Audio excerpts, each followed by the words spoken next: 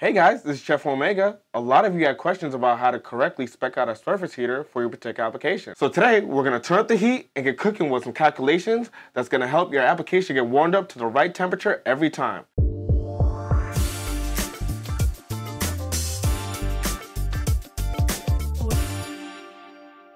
So the three main factors you need to consider when specing out an industrial surface heater are temperature. How hot do you need your surface to be? The material. What is the size and weight of the material being heated? How fast do you need to reach your temperature set point? Can it be a slow ramp or do you need a fast response? Now how do we figure this out? Calculating the wattage requirement is the key. Here's a basic equation you can use to find this out. Your kilowatt requirement equals the weight of the material times the specific heat of the material times the change in temperature divided by 3,412 times the amount of hours you want it to reach up to your temperature set point.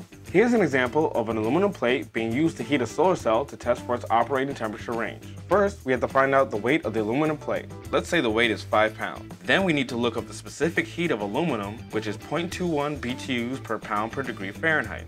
Then we need to calculate the difference between our target temperature and our starting temperature. For this example, we'll use 149 degrees Fahrenheit, since this is the max temperature for most solar cells. Which if we do the math, 149 degrees Fahrenheit subtracted by 59 degrees Fahrenheit will give you a delta temperature of 90 degrees Fahrenheit. And let's use one hour for the heat up time. So we'll take five pounds times 0.21 BTUs per pound degree Fahrenheit times 90 degrees Fahrenheit divided by the conversion factor of 3,412 times one hour heat up time, which will give you a total power of 0.028 kilowatts, or just 28 watts. And that's how you spec out the right heater for your application. If you have any more questions, give us a call or chat with us on omega.com. Be sure to like and subscribe.